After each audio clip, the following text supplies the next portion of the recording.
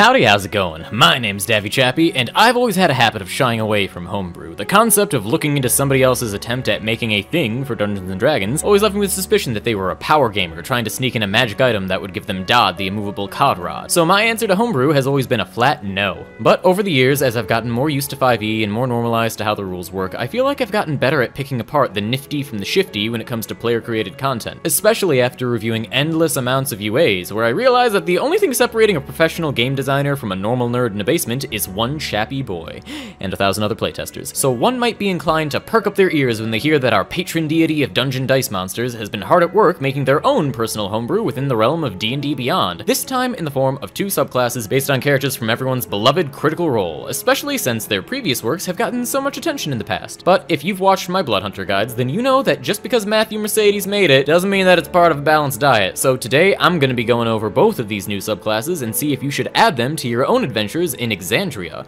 Or Wildemount. I know they came from Wildemount, Exandria just had better alliteration, okay? As always, keep in mind that the majority of this is just my opinion, so if you feel like it's unacceptable that I'm 50 episodes behind on Critical Role, these episodes are long, man. Give me a highlight reel or something. And real quick, I'd like to give a brief shout out to my new patrons this month. Hitzera Homo, Philip Martin, Aubrey Bell, Chris Clark, Mara, Billup, Caridwin, TGB, Gonk the Gourmet, and Ni- What in the world is that? N Nyler Dryden Mason. Thank you all so much for pledging to my Patreon. Please, I'm begging you, get easier names.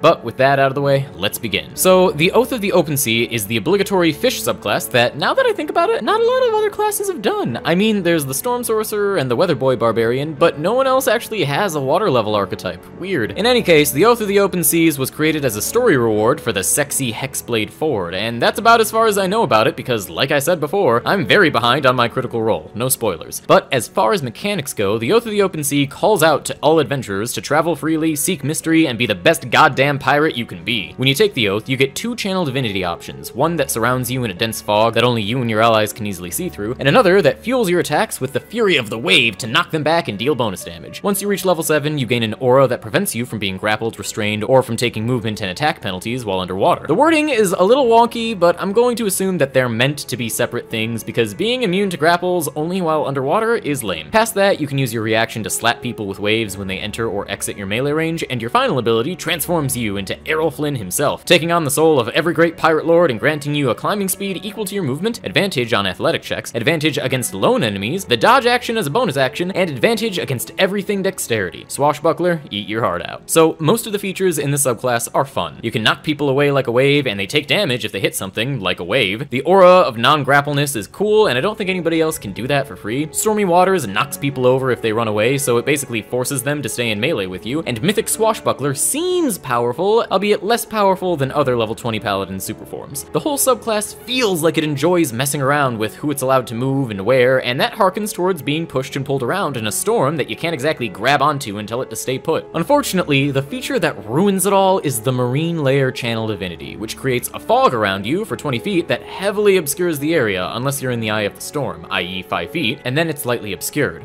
I have to assume that Matt didn't playtest this and also doesn't fully grasp what effects these things do, since obscured isn't something that happens super often, but it's total insanity once you break it down. Lightly obscured, mechanically, is just a minor nuisance. You get disadvantage on perception checks to see things, no problem there. But heavily obscured treats you as blinded within the area, meaning that you fail checks requiring sight, you get disadvantage against attacking anything, and everything gets advantage against attacking you, which means that the paladin plus anything hanging out next to it gets free advantage against any enemy in the fog, and while they're in the fog, enemies get disadvantage on them for 10 minutes, and it follows the paladin around, so an enemy's only option is to jump next to the paladin and then get beat up by all the party members, drop an AoE down if they have one, or run away from the big murder ball of murder and get picked off by the ranged party members who are in the eye of the storm and so don't need to worry about blindness. This is one of those abilities that is so intensely strong that you have to build your entire encounter around its inclusion, and the paladin gets this at level 3. This thing would be powerful at level 20, but the Oath of the Open Sea gets it at practically the start of the game, and nothing can dispel it. Yes, it's a little annoying if the paladin moves and then the other party members are in a weird spot because of it, but they can just wander back into it and be fine, or the paladin could stay where it is and let the ranged people handle it. Yeah, that's boring, but so are constant AoE enemies with blind sense, so there's really no way out of this besides changing it so that it ends early if somebody in it attacks, or making the whole thing lightly obscured instead of heavily. Foolish Aquaman. Anyway, moving on from my ranty rant, the other subclasses presented by our Lord and DM is an update to the Way of the Cobalt Soul, and since I haven't actually read the Cobalt Soul stat block yet, this is basically a totally new archetype for me. The idea is that of a secretive order of monks who took the phrase knowledge is power to heart, sculpting a form of martial arts that lets them peer into a person's mind through the act of violence, gaining an increased understanding of their target like a therapist who punches you and then asks, how does that make you feel? When you study the Way of the Cobalt Soul, you gain the power to learn some of your opponent's stats when you hit a flurry of blows on them, those stats being their vulnerability, resistances, and immunities, and you can hit them as a reaction whenever they miss you. From there, your passion for knowledge learns you a new language and new proficiencies over multiple levels. You can force your opponent into speaking only the truth for what I assume to be 10 minutes because once again, the formatting of the ability is jank. You can spend a ki point to turn your reaction into a free second action, and your final ability lets you use your flurry of blows and three ki points to weaken your foe, giving them vulnerability to the next attack of a certain type that hits them. As a concept, I love this subclass. I'd say I'm partial to Beau, but honestly, I love all characters on Critical Role, and it does help that I've seen the concept roleplayed in the show, so I know what I'm getting into. The whole idea of wise monks who are kick-ass because they've just studied anatomy so they know where to hit to make it hurt the hardest is awesome, and while I go back and forth on whether knowing literally all of an enemy's vulnerabilities and resistances is too much, I usually end up on the side of it's not gonna come up much anyway, and when it does, the DM would just let them know about it if it was important, so why not just let the monk have it? Other than that, the reaction punch is a great way to show off studying your enemy. The multitude of knowledges over time help you feel like you're studying and learning things instead of just starting the game with what you know and that's it. The turning your reaction into a second ability is great, but who boy is it gonna drain your ki points, and the three ki points ability by 17th level is going to be really explosive. Think about it. 17th level Paladin dropping a Super Smite, 17th level Rogue dropping all the d6s in the fiefdom, 17th level any spellcaster dropping any high level damaging spell. It's great. I really love everything about the subclass. Overall, whether you watch Critical Role or not, these are fun subclasses that are available for free on D&D Beyond and could give your own game some revitalization just a few weeks before Tasha's comes out and changes the whole world of what 5e is all about. So as long as you get rid of that crazy mist ability, you and or your friends can make a Critical Role clone both in personality and mechanics, and then it will really be your turn to roll. But that'll about do it. I hope you enjoyed this video. Be sure to leave a like, comment, subscribe, ring the bell, and maybe support me on Patreon so that I can afford to take a week off and binge watch episodes 50 to 100 something of Critical Role.